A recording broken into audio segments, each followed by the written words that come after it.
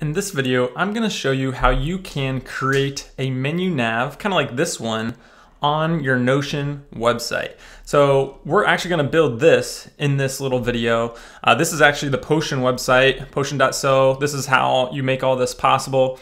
Um, but you can see it has this nice little nav at the top and it sticks to the top and you can even have like a, a little call to action button. And so you can jump around and you can see how this works. And it's even mobile friendly. So, you know, if someone's looking on a phone, it then creates this little button here and then you have the different nav there. So it works for mobile as well. So let's jump in and show you how to make this. So I actually went in and created a duplicate Potion website. So I just jumped in here. It's, you know, it looks really similar, um, but it doesn't have all the styling stuff. So you're gonna go to the live editor and so then this will populate. This is um, what this duplicate looks like. And actually I have it live over here. So it doesn't have all the styling as my actual Potion website, but that's fine. We're just focusing on the menu for right now.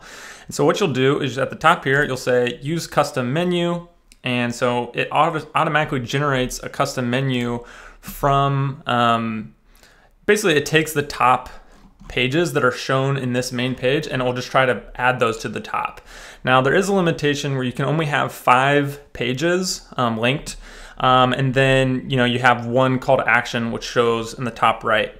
So let's create this, make this look like what we want. So we can actually drag these around and you'll see as I drag these, it will, it will change the order of the pages here of those buttons.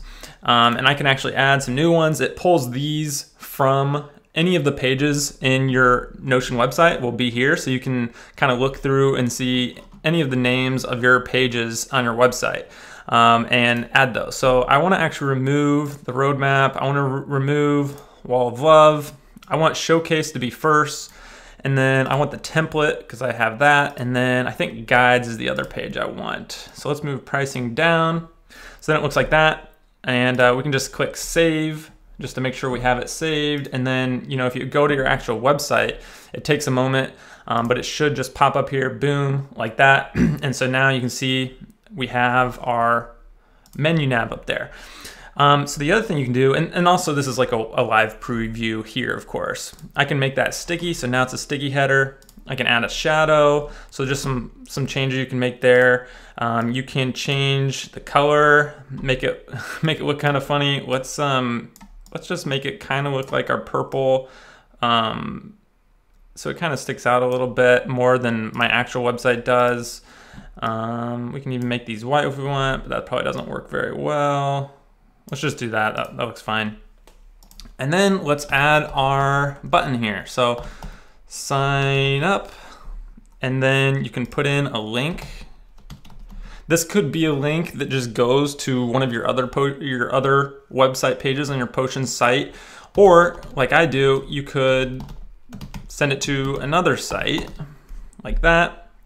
And then let's make this background color also be kind of like a, a purple. You can change the color of the font as well. Click save. You always have to click save for it to actually go to your website, even though you might see the, the preview here. Um, You'll also see when you, you can actually click on these pages to see kind of a, a, a preview of what it kind of looks like. Um, but yeah, so basically we've created this and now if I go back over here, just wait one moment and it will refresh and boom, here's our menu. We got the sign up button, we've got these pages. We can now jump around to see what this looks like. And uh, yeah, that's that's pretty much it. Like you're kind of just editing this menu, kind of a no code builder for, for changing this menu. And uh, yeah, some different font styles and things. You know, you could always go in to snippet injection um, here and actually update some of the CSS to even make it more custom if you want for your header. But right now, these are the options we have for um, the styling of this menu, and we'll probably be adding some more in the future. But hopefully this is like a really easy, quick way to make a, a nav menu for your Notion website. And if you have any questions, always reach out in the live chat on potion.so. Thanks.